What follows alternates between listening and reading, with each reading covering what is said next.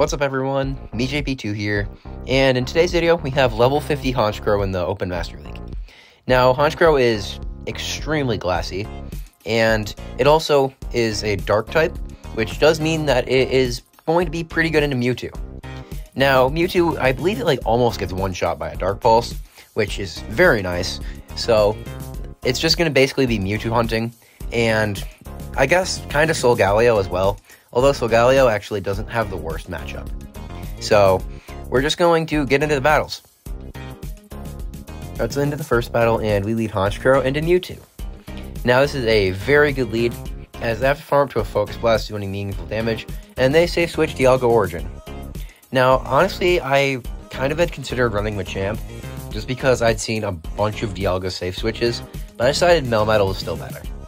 Now, the opponent shields, and so it looks like they're probably selling out for Switch. They actually bait, too, which is perfect because I still wasn't shielding anyways, so now they just waste energy. They then double shield, so they really want Switch, and now I should be able to just farm up to two superpowers. The opponent makes a very nice catch. Like that, that was a very good catch. But now they should just be in Dark Pulse range, and I'm able to snipe. And now they lose like seven Psycho Cuts worth of energy, as the Dark Pulse does just take them out. Now they are going to send back in the Dialga, but this Dark Pulse will do some nice damage, and will get them into range for a single superpower, so they have to throw a move. I decided to shield here though, because I want to see what they might have in the back. So, like, if they have like a Groudon or something, they still have to throw a Fire Punch.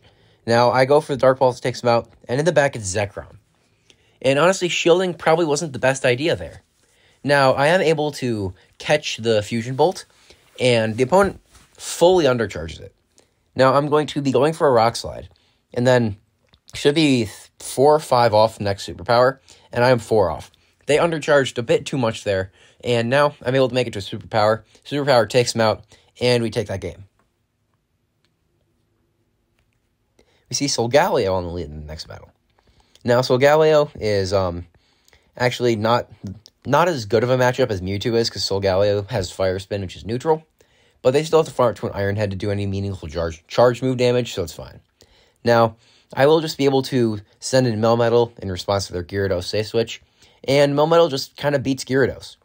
Even if they're on Waterfall, it still is a very one-sided matchup, as now, even if they make it to a Crunch or an Aqua Tail, it's not going to take me out.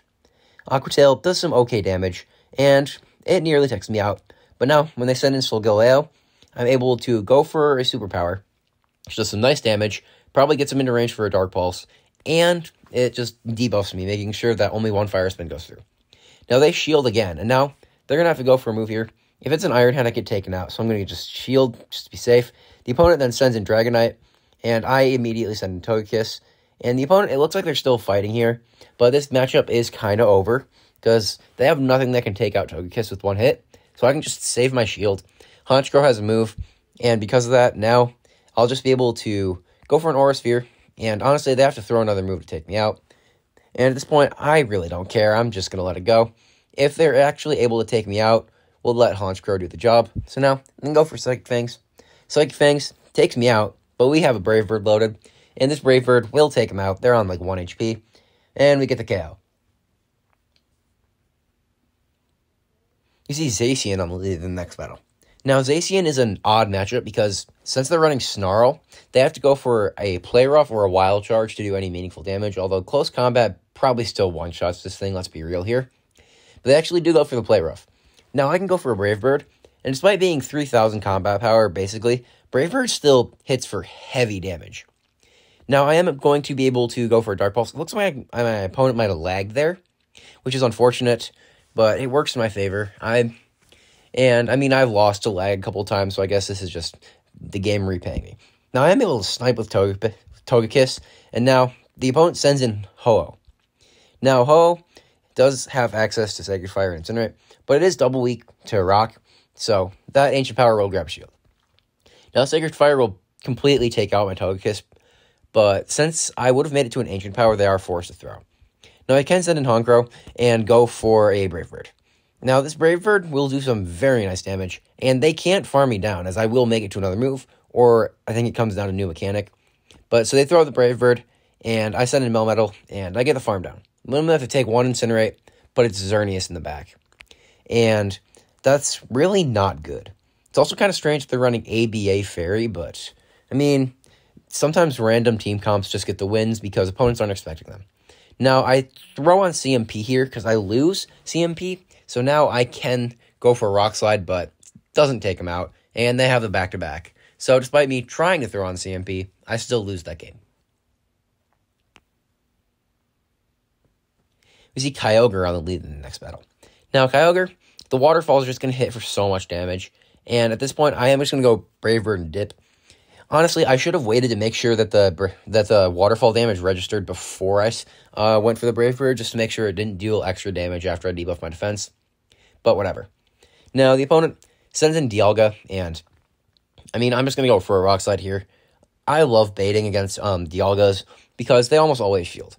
This opponent actually doesn't shield, and now I kind of want to sell out for Switch. The opponent actually does throw the Draco Meteor.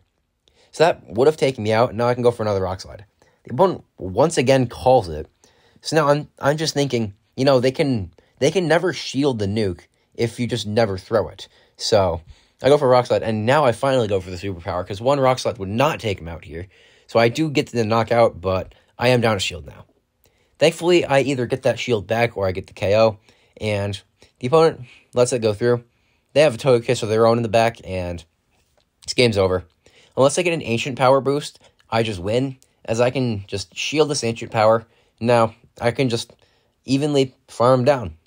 So, as you can see, we get the simultaneous KO, and they lose two shields. We see Metagross on the lead in the next battle.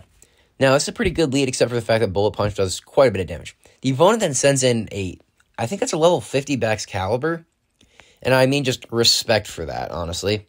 But unfortunately, Melmetal kind of shuts it down. Now, I am going to just no shield the Avalanche. Avalanche isn't going to do much. And I am just going to overfarm. Another throw here. This is not enough for an Avalanche. And even if it was, it still wouldn't take me out. And I could probably force both shields if my opponent wanted to fight for Switch. Now, I can just go for a Rock Slide. Rock Slide will take him out. Now, the opponent sends back in the Metagross. Now, unfortunately, they're probably going to get a very nice farm down here. But I can throw a Superpower. Superpower will debuff my defense. Second Superpower also will debuff my defense, which is fine. Now, they get less farm. Now, unfortunately, I really don't have a good way of getting rid of this Metagross besides the Snarl damage, so I am going to basically just have to double shield and hope that I can farm down. Now, I am going to shield the first one. And now, as you can see, we still lose CMP just because this thing's not really meant to be strong, but we can still go for the Dark Pulse. This should at least grab one shield for our troubles. The opponent actually does let it go, but they have Dragonite in the back. And I felt really bad for that opponent there as they... That was just not very fortunate for them. We see Landorus in the, next battle. Now, I really get really annoyed by Landorus. I just don't like seeing it. The opponent does bait. They love baiting. Now, I'm going to go for a Dark Pulse. The opponent makes a very nice catch on a Dragonite. But the thing is, we just have Togekiss to wall it. Now, this is one reason I like running Togekiss. But at the same time, I still don't really like running Charmers. Like, even in the Master League, it's just... It doesn't feel... It's not fun when, the, when you just tap, tap, tap through a Dragon type. But what I don't really have anything else I can run in its place. Like I don't have a Xerneas or a Zacian, and I do need a Fairy type on my team. So this is basically my choice. Now the opponent doesn't bait there, so I guess they learned their lesson. But now I can send in Honchkrow, and Honchkrow can go for the Dark Pulse, and now that will grab the shield. Now I'm going to be shielding here because even if they do go for a Sandsear Storm, still get me pretty low. Now, fortunately, they're basically in a range where Dark Pulse should still take them out, even if it's debuffed. Now, I am going to not throw on charge attack priority, as I will lose that and just not get a free snarl. The opponent then sends in Dialga, but shields down, I have no need to bait, so I can just farm up. Now, I'm going to make a very, very high level play here. I throw the superpower, and now I wait to make sure they throw the Draco. As now, this won't take me out, but it'll do heavy damage, and I'm going to let them farm. And now, I get, they get like virtually no farm on the Landorus, so they don't leave with a move. Because of that, I can just go for the Brave Bird without worrying about losing charge attack priority. Brave Bird takes him out, and we are able to take that game. We lead into Togekiss in the next battle, and that's just not good. I've sent in my own Togekiss, and if my opponent switches out here, I can probably just lose, as I'm just not going to be able to really keep switch advantage. I don't think safe switching and Charmer is ever a good idea. Now I go for the Ancient Power. The opponent shields, and I get a boost. Now, I'm going to be shielding, and my opponent doesn't get the boost, so now I just have a boost. I mean, I have a massive advantage. Now, I said in Groudon, but these charms are actually hitting for some pretty nice damage. Fire Punch, because I get a boost, does not take me out. And honestly, I'm going to farm up to an Aura Sphere. I don't care if it's a shield. I should be able to grab that shield right back. Now, I go for another Ancient Power. Looks like a strange play because it's resisted, but I knew they were shielding, and if I got a boost, I could do a bit more charm damage to have a bit a bit easier farm down with Honchkrow. Now, Honchkrow is going to be able to go and hopefully go for full farm down. The opponent throws a Fire Punch, and they send in Togekiss. Now, honestly, I panicked through. I did not realize that I could have switched out, and I tank a, a bunch of damage from the charms. Well, I, I wouldn't say tank, because that thing did not tank it well, but regardless, I send in Melmetal, get a farm down, take out the Groudon, and in the back is Zekrom. So now this game still looks winnable, but Fusion Bolt hits for heavy damage, so I'm going to need a catch. And during this battle, I honestly just lost count with the Dragon Breaths. So basically, I'm just gonna have to I'm just gonna have to try and catch when I feel like it's the right time. Now, because I'm going to be switching out afterwards, I'm going to throw superpowers. It does more damage. Now, I send in Honchkrow, and we get the catch. Because I'm so low and Honchkrow so glassy, the um, Crunch, even if I fully undercharged it, I think still KOs. And we go for Superpower, taking out the Zekrom, and we take that game. See Lugia on the lead in the next battle. Now, this looks like a good matchup on paper, but the stat product difference is just insane, and it just kind of is going to give Honchkrow a disadvantage. That Dark Pulse doesn't even do half. Now, the opponent loses CMP. Like, I, I just think that's hilarious, and they have to commit a shield now, despite having a thousand combat power advantage. Now, I'm just going to let Honchkrow go. Getting a shield advantage is probably the best it can do. Now, I'm going to throw a Rock Slide. Now, the opponent, um, they should probably just let this go, but they actually shield. I don't know why. And they send in a Palkia Origin. Now, Togekiss kind of shuts down Palkia, especially up two shields, but I don't even have to use the shields here. I can just go for full farm down, and despite having to tank two Aqua Tails, I actually do decide to shield because I do want to have enough HP to like prevent like whatever they have in the back from getting full farm down. They sent in Lugia, and I decided to just shield and try and go for a full farm down, but I miscalculated their energy, and now I will have to eat a Sky Attack. Sky Attack won't take me out though. The opponent then sends in Ho. Now this um, Incinerate probably does take me out, but that Ancient Power does get him low enough, and I have a Rock Slide banked. So, well, it does look pretty dicey right there. That Rock Slide will save me the game, as this Lugia has nothing and we are able to take that game. See Groudon on the lead again, and now we've seen this is a pretty good matchup, and then the opponent sends in Tyranitar. Now I send in Melmetal, and I'm just going straight Rock Slide. Like I'm, I'm not in the mood to throw a superpower and debuff myself. The opponent actually shields, so now this is even better. As Brutal Swing, not going to do much. However, I do fear the day that I run into the some mad lad running Tyranitar with Fire Blast because it does learn that. I live in constant fear of that.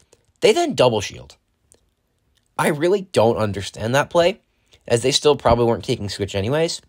But now I'm able to just take them out with Superpower.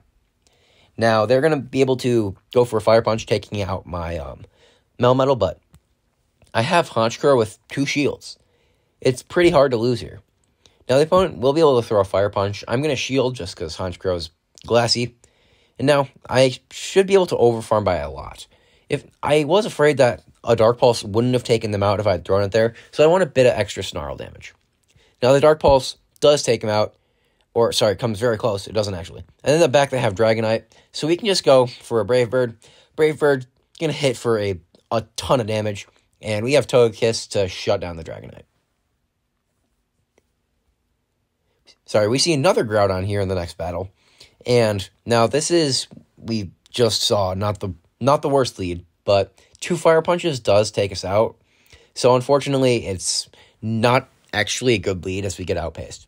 Now I go for a dark pulse. Now I do have to shield if I want to get my damage off. So this is it's really annoying to see a flying type lose to a ground type, but what can you do?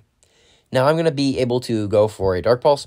This dark pulse does grab a shield, and now at this point, I'm just going to let it go through, as I want to get extra farm on Togekiss. Now the opponent, despite being able to go for a fire punch, it's non-stab, it's not the worst, it's sorry, it's not the best move, so it's not going to be doing too much. They don't make it to another one, which is great.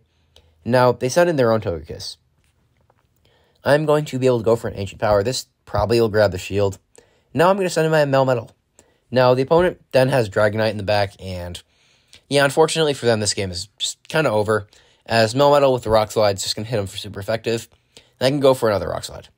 Now, this Rock Slide does take him out, and Togekiss has nothing, and the, the opponent concedes the match. See another Solgaleo in the next battle.